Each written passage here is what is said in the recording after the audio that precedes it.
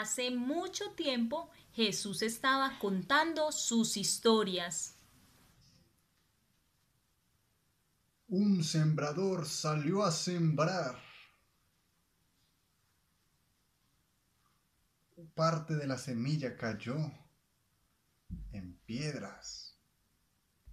Jesús era el mejor narrador de historias.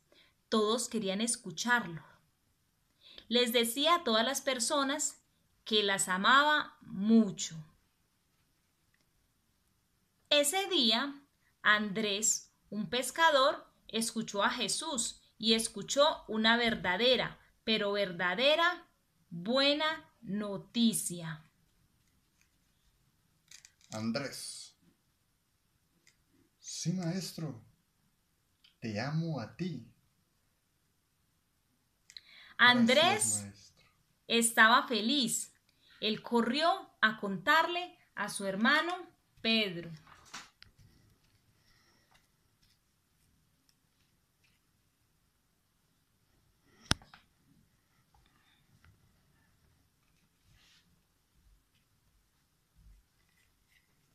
Pedro, Pedro.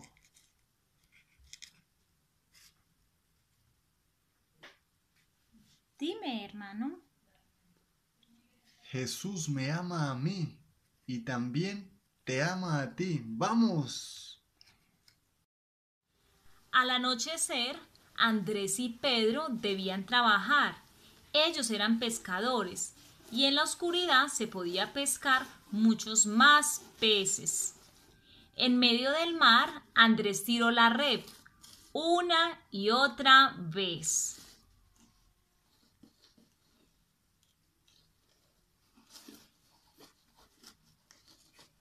Oh, qué cansado estoy. Sin embargo, seguiré tirando la red. Sí, hermano. Vamos a hacerlo. Llevar alimento a la casa. Y así, toda la noche estuvieron lanzando sus redes, pero no pescaron nada, hasta que finalmente amaneció. No pescamos nada. En la claridad del día, Andrés y Pedro estaban remendando sus redes en su barco, cuando Jesús estaba contando historias a la gente. Hermano Andrés, ¿ves a ese hombre que está contando historias más allá de la playa? Sí, hermano. Recuerda que él fue el que te dije que me ama y te ama a ti. ¿Qué tal si vamos un rato a escucharlo? Bueno, por aquí, desde aquí alcanzo a escuchar.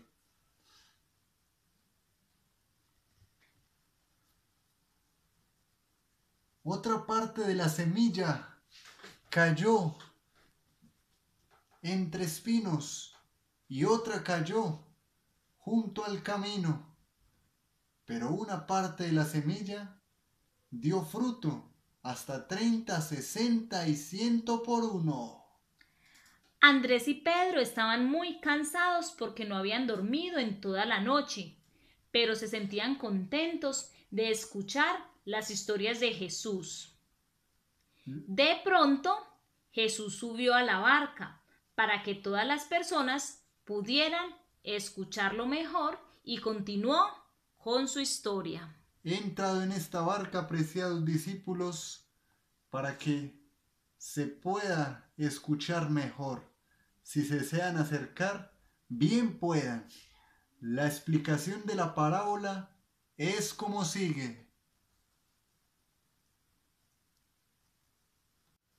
La semilla que cayó en buena tierra y dio fruto representa a los que oyen las historias de Dios, las obedecen y me aman y me siguen.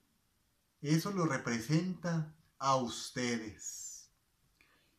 Después de un rato, Jesús le pidió a Andrés y a Pedro que hicieran algo realmente extraño. Andrés, Pedro, les voy a pedir que vayan a trabajar ahora mismo, vayan a pescar. Maestro, pero toda la noche lo hicimos y no pescamos nada. Así es, maestro, pero en tu nombre lo haremos. A pesar de estar tan sorprendidos, Andrés y Pedro obedecieron a Jesús y regresaron mar adentro en su barco y sacaron sus redes. Vamos, Pedro, suelta el ancla, que nos fuimos.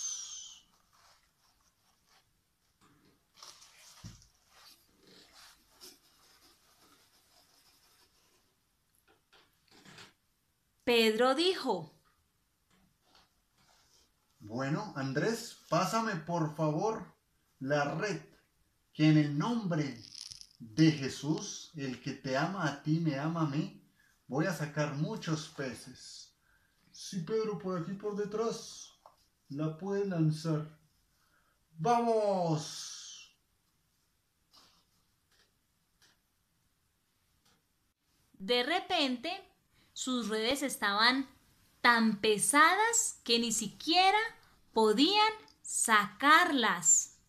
Estaban llenas de peces. Andrés, está muy pesada esta red. Parece que pescamos. Llamemos a nuestros amigos. Santiago. Juan. Parece que Andrés y Pedro nos llaman. Lleguemos a ver. Vamos, ayudémonos. Vamos. ¡Wow! ¡Wow! Lo logramos gracias a Jesús. ¡Sí! ¡Sí! Ellos no lo podían creer. Jesús había realizado un verdadero milagro. Estaban felices. Finalmente, las redes y todos los pescadores estaban en la orilla. Entonces, Jesús tuvo algo especial para decirles a Andrés, Pedro, Santiago y Juan. Él les dijo, Andrés, Pedro, Santiago y Juan, yo los amo a ustedes. ¿Quieren ayudarme y ser mis discípulos? Yo los haré pescadores, pero no de estos peces de mar, sino pescadores de hombres. ¿Quieren? Sí, sí. Muy bien, niño. A usted también le extiendo mi invitación. Muy bien, niña. A usted también la invito. ¿Quieres ser seguidor y seguidora de Jesús? Yo te amo a ti y quiero que me ayudes a decirle a muchos otros niños y niñas y personas que los amo. Síganme.